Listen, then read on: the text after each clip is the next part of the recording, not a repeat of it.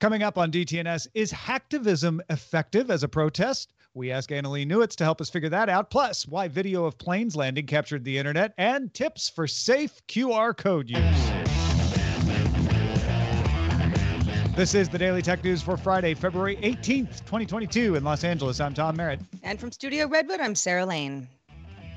I'm Roger Chang, the show's producer. And joining us, the author of Four Lost Cities and so many things on the internet, Annalee Newitz. Welcome back. Hello. Good to Thank have you. It's so great to be back. Thank you for helping us uh, expand our knowledge of minions on our expanded show, Good Day Internet. Uh, you mm-hmm. can get mm-hmm. that longer version of the show at patreon.com slash DTNS. Big thanks to a few of our top patrons today. They include Chris Smith, Mark Gibson, and Reed Fischler. Let's start with a few tech things you should know. Snap announced that Snapchat users will be able to change usernames uh, as of February 23rd, and usernames can be changed just once a year, so choose wisely. Snap also announced a new live location feature, letting users share real time location data with trusted friends and family. Location can be shared for between 15 minutes and eight hours of a time and must be shared by uh, on a friend by friend basis. So you're not going to share it with 10 people at once, for example. This builds off of Snap Map, which shows approximate location and only updated with the app open. Bloomberg issued its list of the top 10 companies by market value. Market value, if you don't know, is based on the current market price of a company's stock. Here they are in order, starting with the largest market value first Apple, Microsoft, Aramco, Saudi Arabia's oil company, Alphabet, Google's owner, Amazon, Tesla, Berkshire Hathaway, that's Warren Buffett's company, Nvidia, TSMC, and Tencent. Did you notice one that was missing? Yeah, Netflix. No, no, no, no, that's not the one we were thinking of. Meta, Facebook's owner, has fallen out of the top 10 in market value, but it is at number 11. Just. The latest dev channel build of Windows 11 Pro now requires an internet connection and Microsoft account during initial setup. Windows 11 Home Edition already required this. Windows 11 Pro production builds let you create a local user offline, and the change won't impact existing installs. Alphabet owned DeepMind published an article in Nature describing how it has trained an algorithm to control superheated plasma inside a nuclear fusion reactor. Uh, nuclear fusion, as you may have heard recently, uh, could provide a relatively clean and practically unlimited source of energy that generally uses magnets to contain the superheated plasma because the reactions are as hot or hotter than those in the middle of the sun. DeepMind's reinforcement learning algorithm has been used around 100 times now on a nuclear fusion tokamak container at the Swiss Plasma Center. The benefits are more precise control than humans can do, uh, certainly, uh, and that even other computer control systems can do at a thousand of adjustments per second. Thousands, like a multiple. Baidu launched a self driving taxi service in downtown Shenzhen. The vehicles still require human safety drivers and only operate between 9 a.m. and 5 p.m. Baidu set up 50 pickup and drop off locations for the service across the city, and rides can be hailed with the Apollo Go app. Baidu has already launched autonomous taxis in Beijing, Guangzhou, and Shanghai, but this is the first in a densely populated downtown area of a city. The company plans to extend service to 65 cities by 2025. All right, let's talk about QR codes. That Coinbase ad during the Super Bowl had a lot of people talking. Uh, we're, of course, referring to the ad that was just the QR code bouncing around the screen. We even talked about it on the expanded show, Good Day Internet, on Monday. Tom's take, that's me, uh, was that it's no different than any other link. If you trusted the source, in this case, NBC, I argued then you can decide whether you'll click or not, whether you trust NBC. It's not like it came out of total nowhere. But Axios notes that QR code abuse has caught the attention of the US FBI. It's a real thing. eMarketer estimates that 76 million people in the US scanned a QR code in 2021, and that is up 44% over 2019. And of course, part of that has to do with restaurants that have replaced physical menus with web pages accessed by QR code, say on the table that you're sitting at. So the FBI issued an alert January 18th to raise awareness about criminals who tamper with QR codes to get people to access malicious websites with malware, phishing schemes, and the like. Like any URL you click, there are precautions you should keep in mind. Scanning a QR code is probably fine, just like clicking a link is probably fine. But before you tap into the link for a QR code or any link, consider the following. Look at the URL preview. When you scan it with your camera, it'll tell you what the link is and make sure it's going where you expect it to and that you know where it's going. It's not some link shortener. Check the URL in the browser after you've tapped to make sure you ended up where you thought you were going to go. And be very cautious logging in after tapping any QR code or entering any kind of information in any forms or anything. Don't download apps from a QR code. Always go into your app store and find them. Uh, and don't make payments through a QR code unless you're absolutely certain it's legitimate. Which, if you're absolutely certain it's legitimate, you're probably in China because that's really where people use QR code regularly for paying things with WeChat or Alipay. It's not terribly common here in the U.S. or or even in most other uh, parts of the Western world, anyway.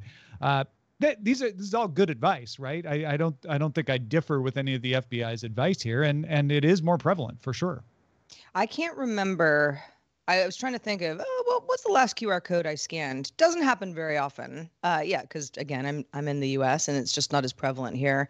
Uh, I think it was had to do with me moving some crypto money from one wallet to another, mm-hmm. and mm. you know, it, again, it's like if I trust the app and it's built into the app, and I'm sending it to potentially another app or even within the same app, it's probably fine but it's it's always given me pause especially when money is involved because there are other ways to do it you know you, you can you can just copy and paste a, a particular um, wallet address um, and do it the do it the long way but yeah otherwise not using a lot of qr codes I definitely have have uh, done it a couple times uh, over the last couple of years at restaurants mm-hmm. um, in lieu of menus, which worked out perfectly fine. But again, I mean, yeah, maybe there's that criminal who's pretending to be a server and giving me a fake uh, QR code, or, or, just going around to the tables if they're affixed to the tables and you know cover them and over with mm-hmm. their own mm-hmm. QR code. A little something, yeah. yeah it's it's sort of like like scraping ATM machines. Yeah. It's oh, super yeah. easy to do, and where I live in San Francisco, like people are constantly scanning those QR codes. Almost all of the restaurants that have outdoor tables are are doing that. So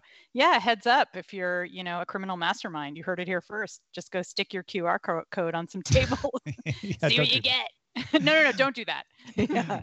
Uh, Rob Dunwood uh, on SMR podcast this week was talking about how he had a shirt with a QR code on it, and he would just walk through an airport, and then when he would get you know to to on his plane he could check and see how many people scanned it. He's like a dozen people in the airport would just scan his t-shirt.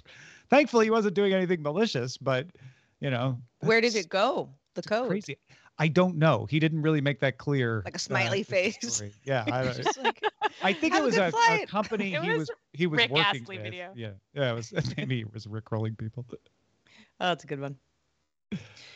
Well, should we talk about planes? I think we should. Okay.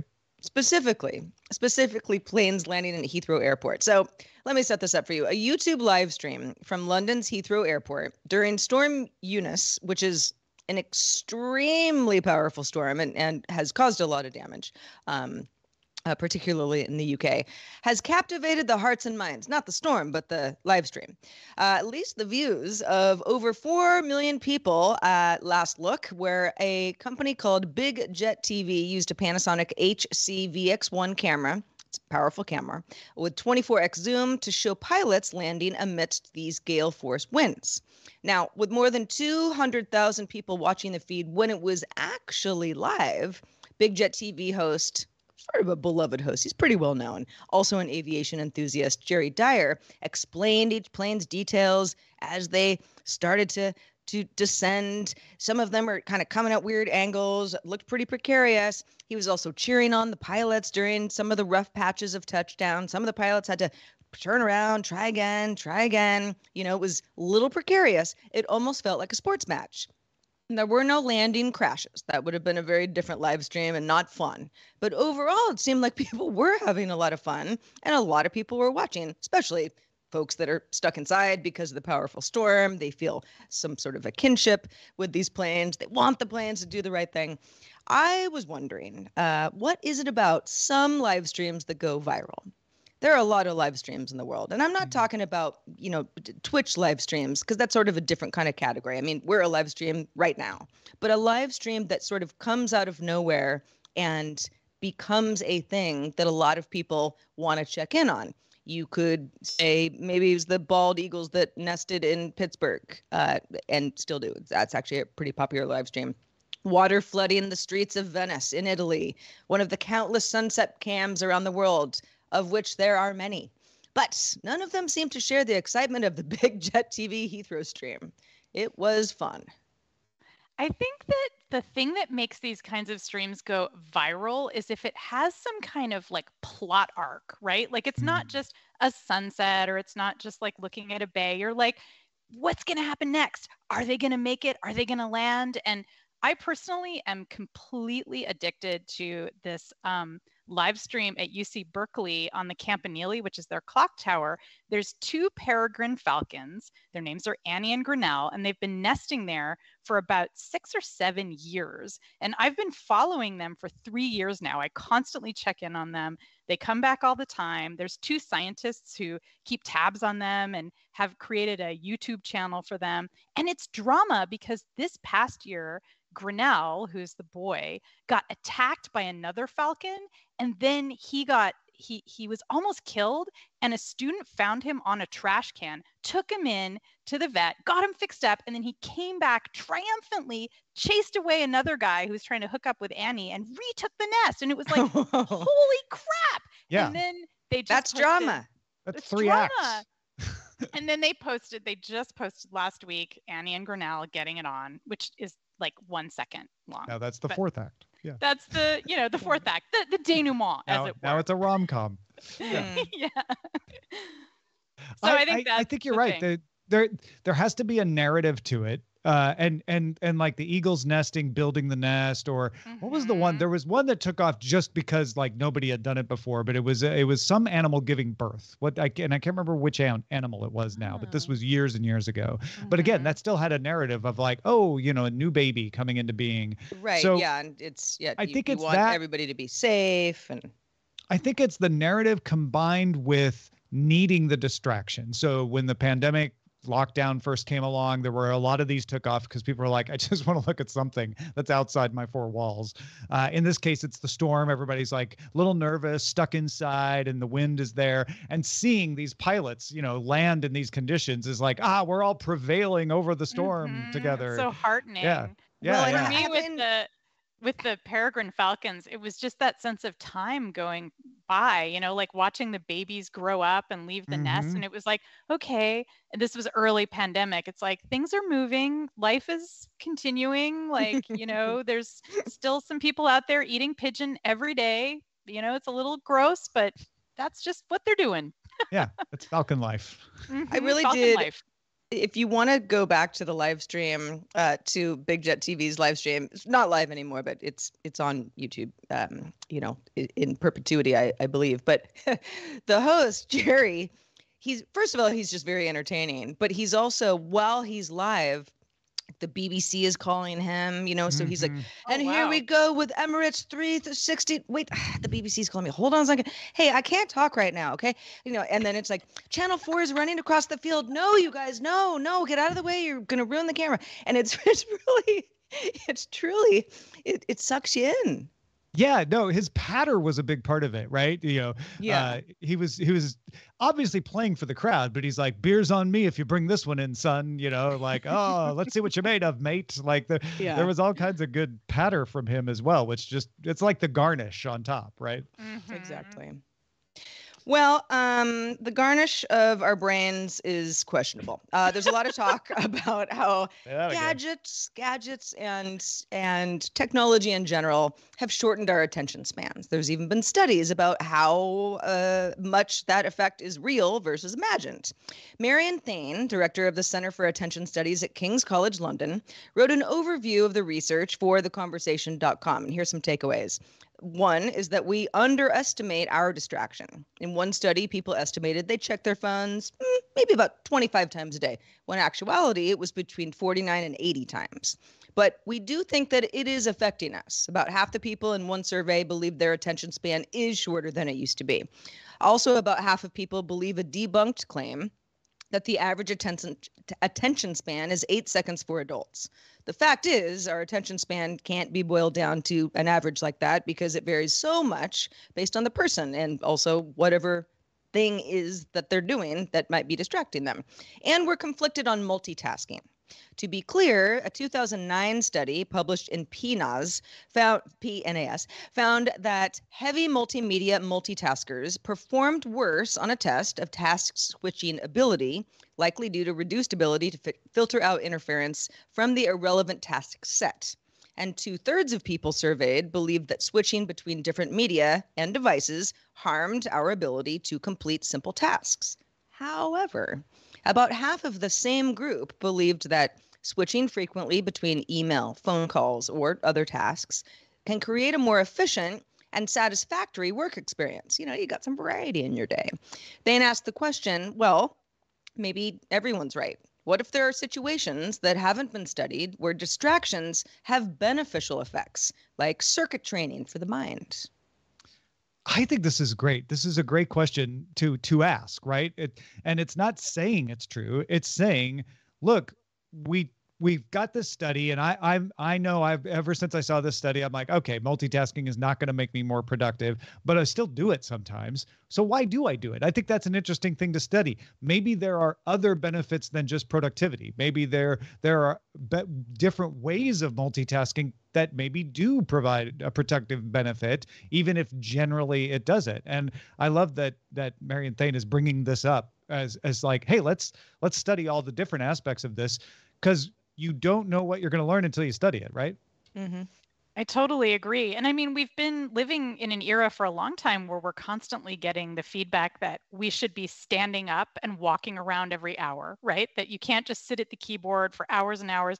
And, you know, that's not multitasking, but that's certainly a distraction, right? If you stand up, stretch, walk around, and we all know that's good for us. So right. maybe there's a mental equivalent of that. Like, okay, after, you know, you do a writing sprint, work really hard for 45 minutes, maybe it's okay to check Twitter for 10 minutes. Maybe that gives your brain time to just kind of chill. Um, so I, I think it makes a lot of sense. I'm looking forward to seeing what they find out because I'm I'm terrible with distractions. So I want I want to believe that it's good. yeah, I'm I'm pretty bad with distractions too. I mean, I'm a person who has like 80 tabs open, and sometimes I'm just like tap tap tap tap tap tap tap tap tap. Uh, I need to do all these things, and there's so many tabs, and then I I'm kind of like wait, what am I really doing right now? Um, and uh, that happens on a daily basis. At the same time, there's some joy I get when I have, you know, I'm working on DTNS in the morning, checking Twitter that's not even necessarily about technology. Maybe my Wordle tab is open. And all of these things I don't want to give full concentration to because I kind of like juggling them. But if, you know, my life were on the line, then I'd have to choose one. I, I think it's such a great point that uh, we are also told to take breaks, like that taking a break increases productivity. So is there is there circuit training where you're like, yes, but instead of doing 45 minutes and taking a break, I'm doing 10 minutes and then a one minute break 10 minutes? Like is there something to that? Maybe there's not but it would be interesting to, to yeah. try and find out. Yeah. Yeah Hey, folks, uh, what do you like hearing us talk about on the show? You like this kind of stuff? Uh, there is a way to let us know in our subreddit. You can submit stories or just vote on the ones that other folks have submitted. We, we pull from the subreddit every single day, dailytechnewsshow.reddit.com. Is hacking an effective protest tactic? Hacktivism's not new. Uh, since the 1990s and before, hackers have been taking on causes they believe in and using their skills to further those causes. Annalee uh, pointed out to me that Molly Sauter wrote a book about the history in The Coming Swarm, right? Mm-hmm. Yeah, it's a book about the history of hacktivism. Super great. Thursday, uh, we talked about an insider using their legal access to DNS logs in that way. Uh, that was more of an insider establishment example, though. More recent examples involve organizers of anti vaccine mandates in Canada. You've probably heard about truckers being the start of a protest at several bridges between Canada and the US and in the Canadian capital of Ottawa, most importantly. Uh, Rolling Stone notes that some folks protested the protesters by getting into the protesters' chats to disrupt the singing of the Canadian national anthem with a song called Ram Ranch, which is a metal song about gay cowboys by Grant MacDonald. A lot of that has happened on, a, on an app called Zello, which is a push to talk group chat app. And I think they just found the address of the chat and got in. There wasn't yeah. like, you know, it wasn't a sophisticated hack or anything. Uh, in fact, neither of these examples are very sophisticated. One's just leaking logs and the other sneaking into group chats. A more serious attack happened against a crowdfunding site called GiveSendGo. Canadian protesters were using that site to raise funds after GoFundMe withheld funds and began refunding donations because of reports of unlawful activity by the groups that were being funded.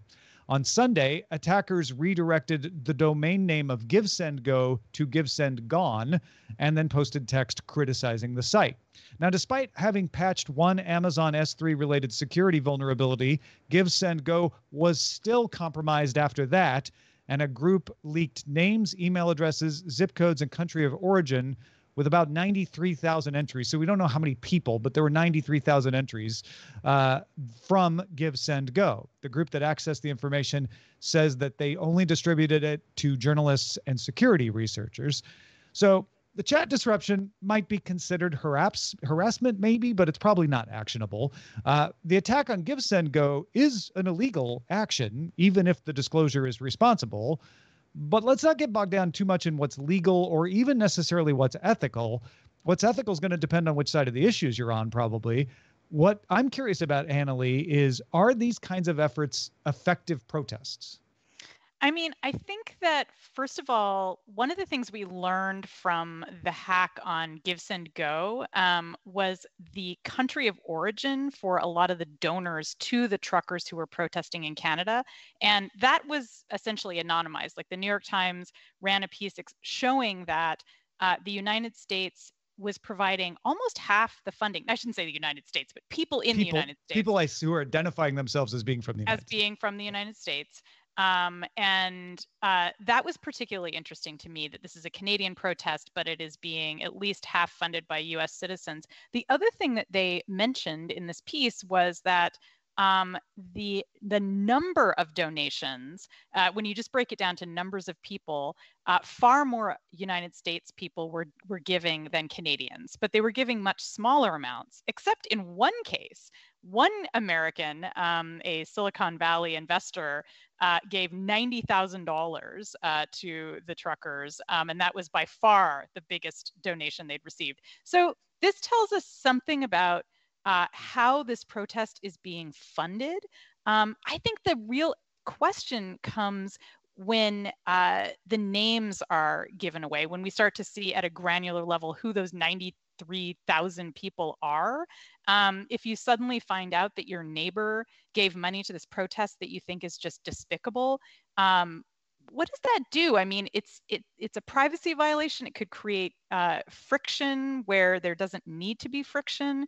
Um, but maybe it's good. Maybe naming and shaming is is a way to prevent these really damaging protests that had really wide-ranging effects. I mean, they were blocking roads into Canada, which was affecting the supply chain.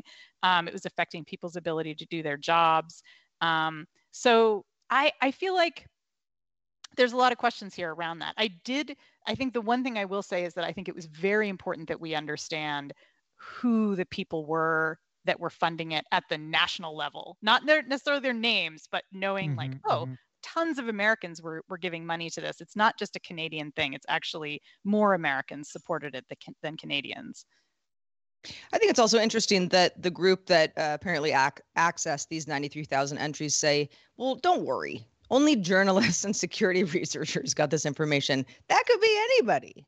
Yeah. I mean, jur- journalist means something to me, but it might mean something very different to whoever had the information in the first place.